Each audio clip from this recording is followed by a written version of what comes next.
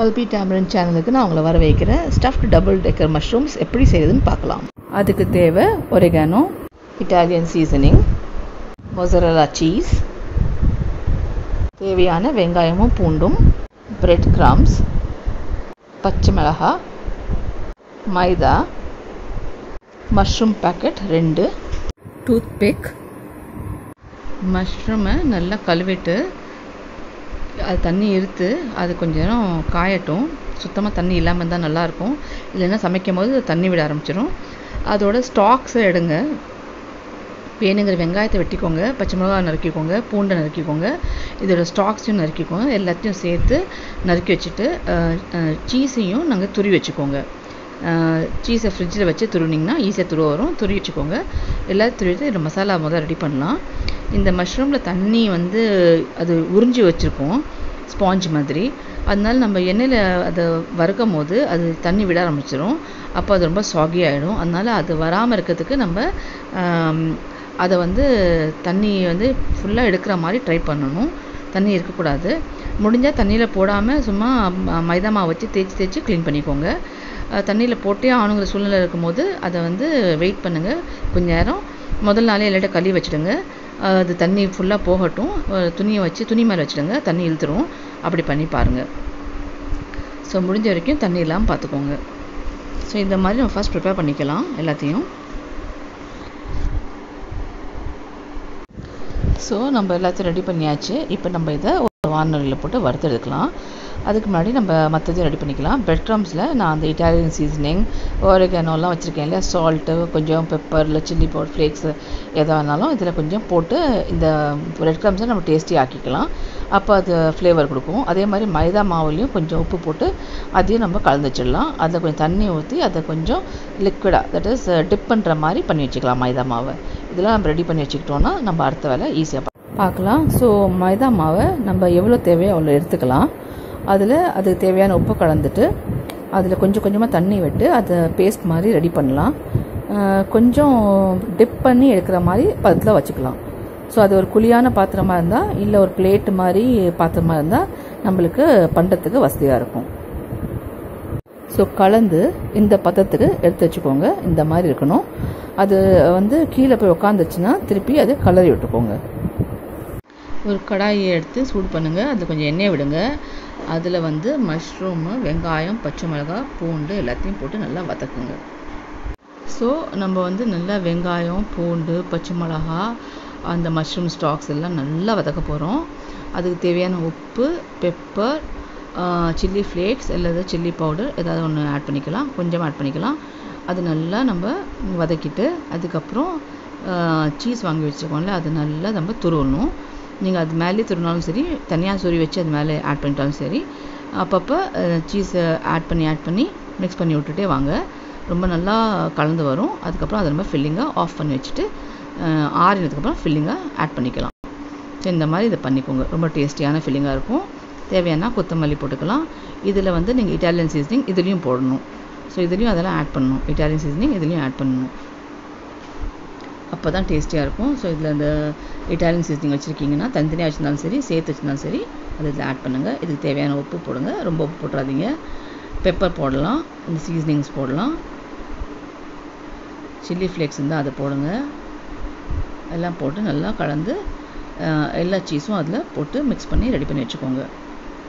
உங்களுக்கு வேணும்னா நீங்கள் வேக வச்ச உள்ளக்கிழங்கு கூட இதில் ஆட் பண்ணிக்கலாம். இது உங்கள் இஷ்டம். ஸோ இதெல்லாம் போட்டு நல்லா கலந்து விட்டு சீஸ் திரும்பி போட்டு அந்த ஃபுல் பேக்கெட் சீஸ் இதில் போட்டுருங்க. ரெடி பண்ணி வச்சு ஆஃப் பண்ணிவிடுங்க ஆறுனதுக்கப்புறம் அதில் ஃபில் பண்ணிக்கலாம். ஒவ்வொரு மஷ்ரூமாக எடுத்து அதில் இதை நம்ம ஃபில் பண்ணி ப்ரிப்பேர் பண்ண போகிறோம்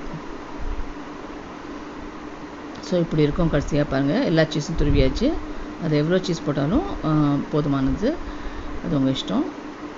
நீங்கள் வாங்க வேணாலும் போட்டுக்கோங்க.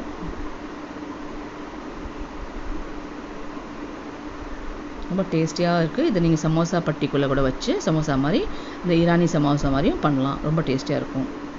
ஸோ இது ஃபில்லிங் தான். நீங்கள் எது வேணால் வச்சு பண்ணலாம்.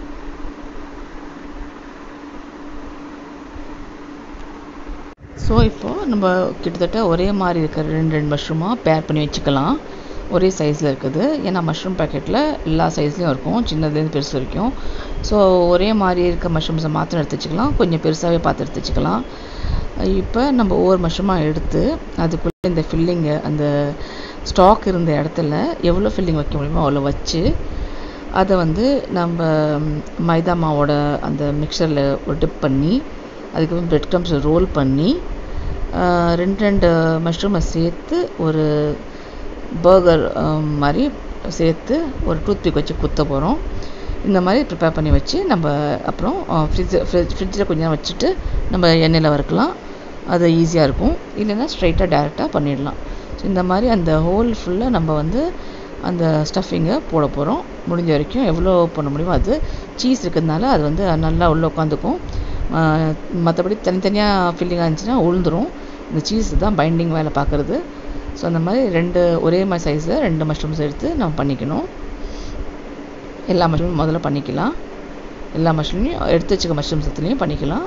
மற்ற மஷ்ரூம்ஸ் இன்னும் இருக்குது ஃபஸ்ட்டு கொஞ்சம் எடுத்து பண்ணுறோம் ஒரு பேட்ச் ஸோ அது எல்லாத்துலேயும் நம்ம இந்த ஸ்டஃபிங்கை நொப்பலாம். அதுக்கப்புறம் எல்லாத்தையும் பேர் பண்ணலாம். ஸோ இந்த வேலையை ஃபஸ்ட் பண்ணலாம். இன்கேஸ் ஃபில்லிங்கிற பாக்கி இருந்துச்சு மஷ்ரூம்ஸ் எல்லா மஷ்ரூம் ஃபில்லிங் பண்ணதுக்கப்புறம் ஃபில்லிங் பாக்கி இருந்துச்சுன்னா நோ ப்ராப்ளம் எடுத்து உள்ளே வச்சுடுங்க.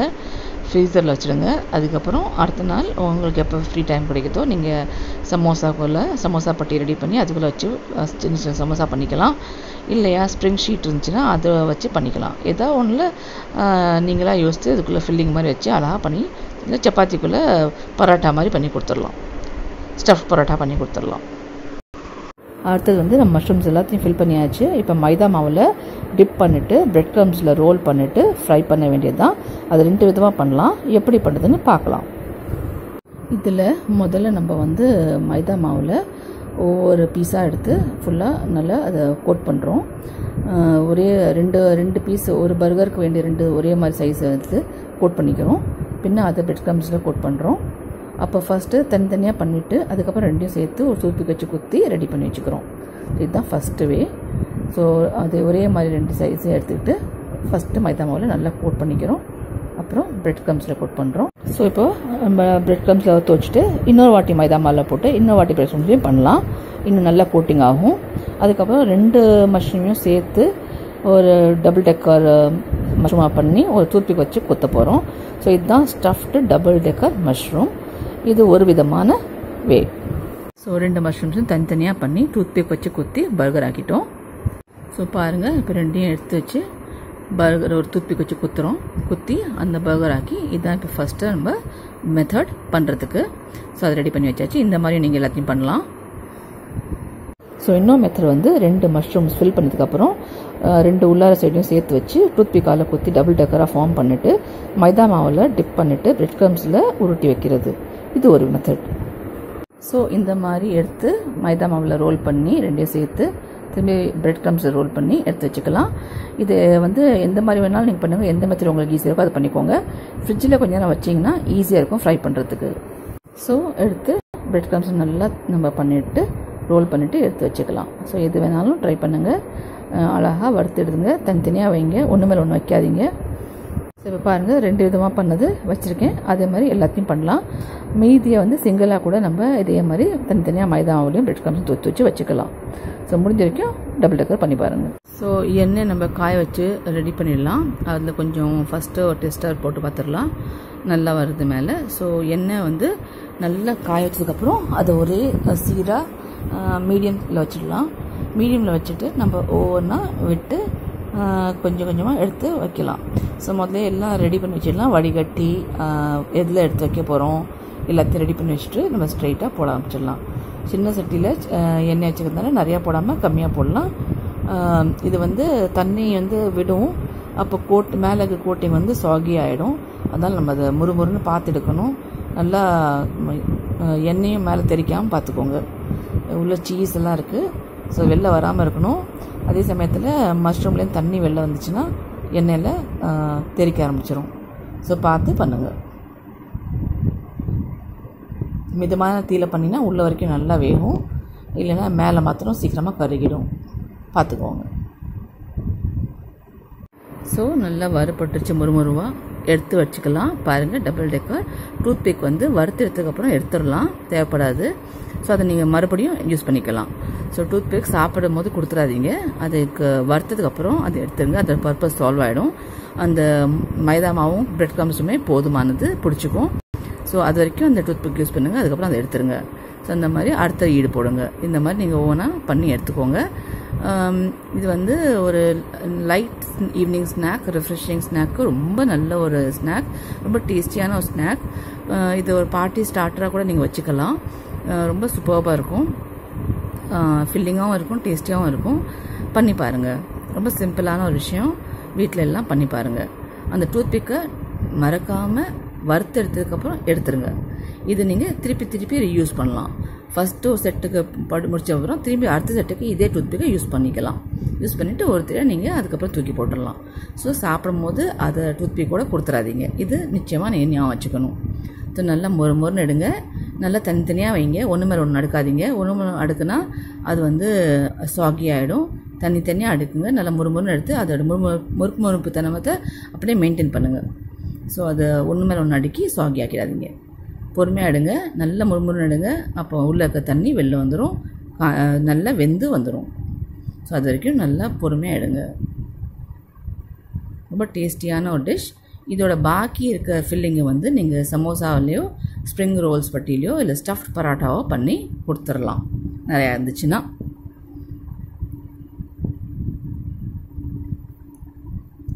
ரொம்ப டேஸ்டியாக ரொம்ப சீஸியாக ரொம்ப கிறிஸ்பியாக இருக்கிற double decker stuff mushroom ready ஆயிடுச்சு. அது எந்த டிப் வேணாலும் வச்சு சாப்பிட்டுக்கோங்க.